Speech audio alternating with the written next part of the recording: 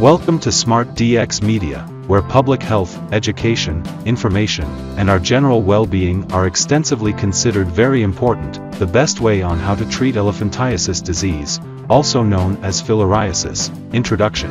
Wuchereria bancrofti is a filarial, arthropod-borne, nematode, roundworm, that is the major cause of lymphatic filariasis.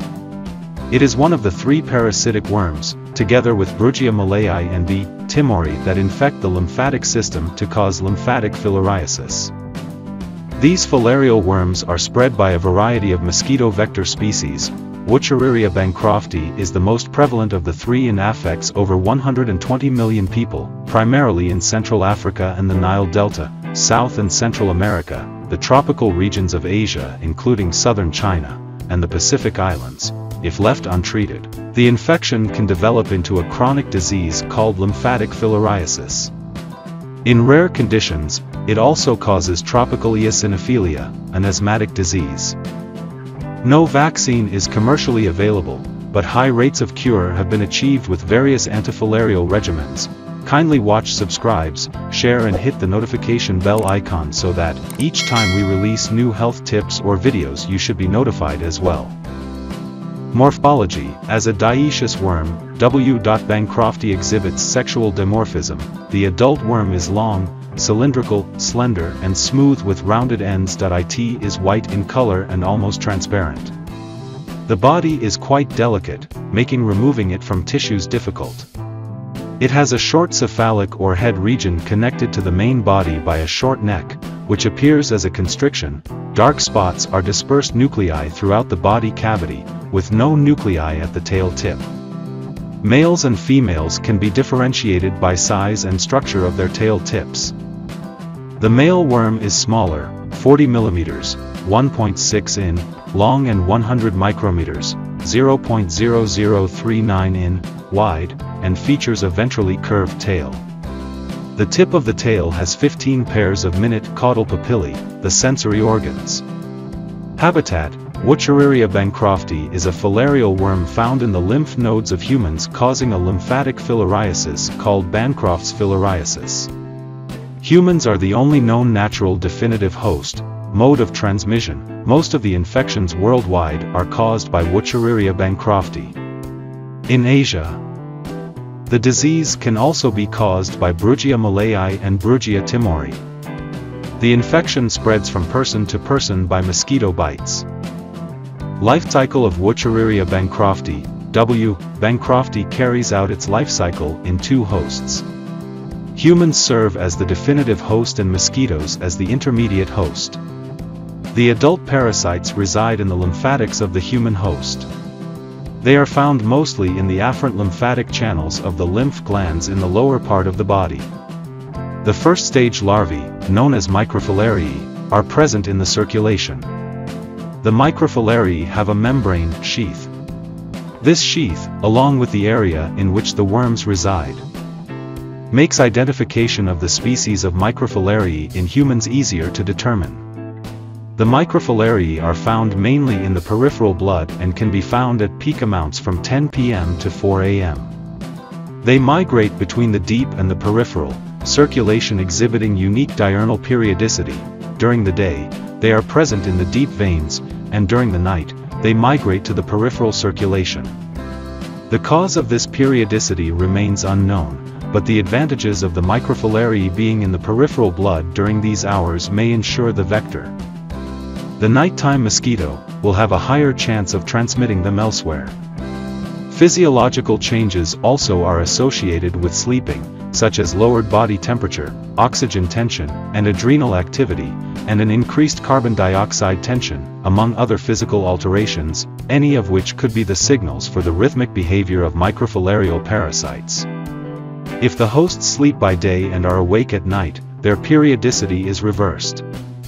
In the South Pacific, where W. bancrofti shows diurnal periodicity, it is known as periodic. Pathogenesis of elephantiasis The pathogenesis of Wuchereria bancrofti infection is dependent on the immune system and inflammatory responses of the host. After infection, the worms mature within 6 to 8 months, male and female worms mate and then release the microfilariae. These microfilariae can be released for up to 10 years. 1. The asymptomatic phase usually consists of high microfilaremia infection, and individuals show no symptoms of being infected. This occurs due to cytokine IL, for suppressing the activity of Th1 cells in the immune system. This can occur for years until the inflammatory reaction rises again, too. In the inflammatory, acute, phase, the antigens from the female adult worms elicit inflammatory responses. The worms in the lymph channels disrupt the flow of the lymph, causing lymphedema. The individual exhibits fever, chills, skin infections, painful lymph nodes, and tender skin of the lymphodematous extremity. These symptoms often lessen after 5 to 7 days. Other symptoms that may occur include orchitis, an inflammation of the testes, which is accompanied by painful, immediate enlargement and epididymitis, inflammation of the spermatic cord. Dot 3. The obstructive, chronic, phase is marked by lymph varices, lymph scrotum, hydrocele, chyluria, lymph in urine, and elephantiasis. Microfilariae are not normally present in this phase. A key feature of this phase is scar formation from affected tissue areas. Other features include thickening of the skin and elephantiasis, which develops gradually with the attack of the lymphatic system. Elephantiasis affects men mainly in the legs, arms, and scrotum. In women, the legs, arms, and breasts are affected. Signs and symptoms, the individual exhibits fever, chills, skin infections, painful lymph nodes, and tender skin of the lymphodematous extremity. These symptoms often lessen after 5 to 7 days. Epidemiology, Wuchereria bancrofti occurs in sub-Saharan Africa, Southeast Asia, the Indian subcontinent, many of the Pacific Islands, and focal areas of Latin America and the Caribbean, including Haiti.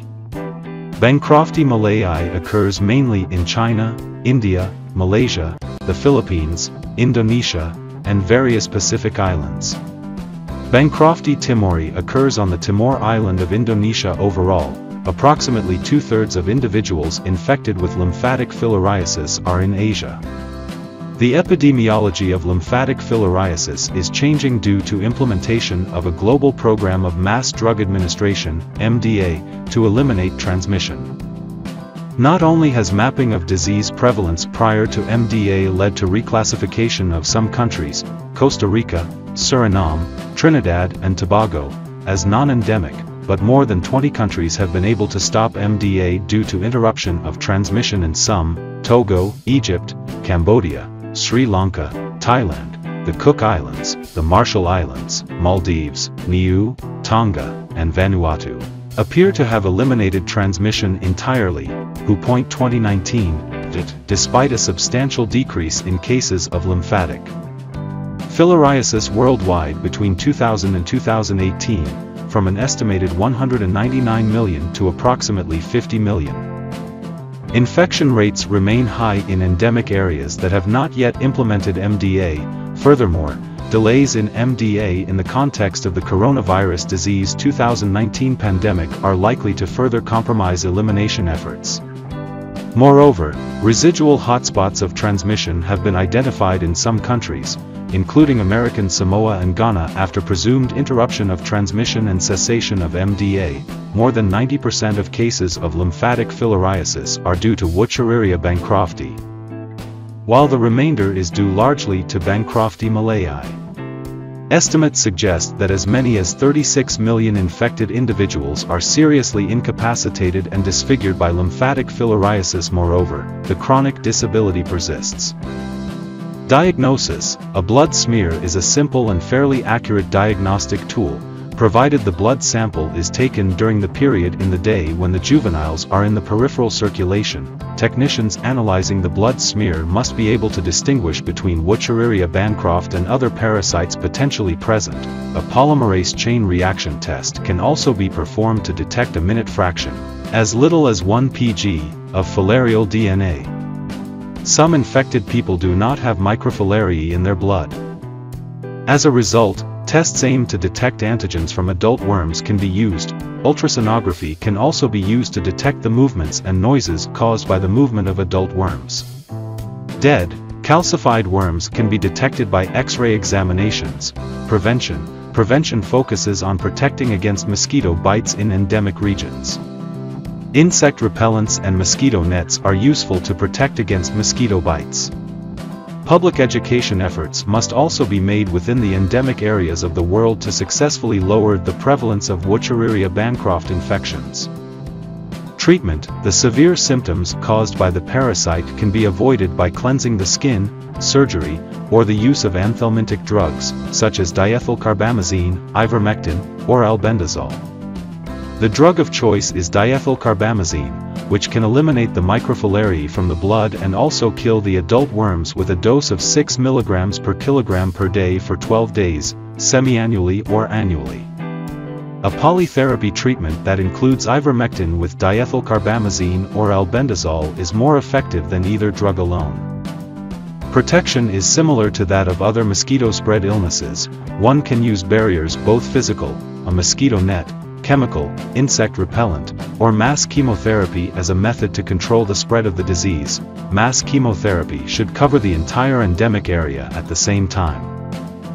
Kindly watch subscribes, share and hit the notification bell icon so that, each time we release new health tips or videos you should be notified as well, mass chemotherapy should cover the entire endemic area at the same time. This will significantly decrease the overall microfilarial titer in blood in mass, hence decreasing the transmission through mosquitoes during their subsequent bites. Antibiotic active against the Wolbachia symbionts of the worm have been tested as treatment. Wolbachia-free worms immediately become sterile and later die prematurely. Disclaimer, the information in this article or video cannot and should not replace a medical consultation must not be used for self-diagnosis or treatment but rather clinical awareness or public health. Kindly watch subscribes, share and hit the notification bell icon so that, each time we release new health tips or videos you should be notified as well. Thank you.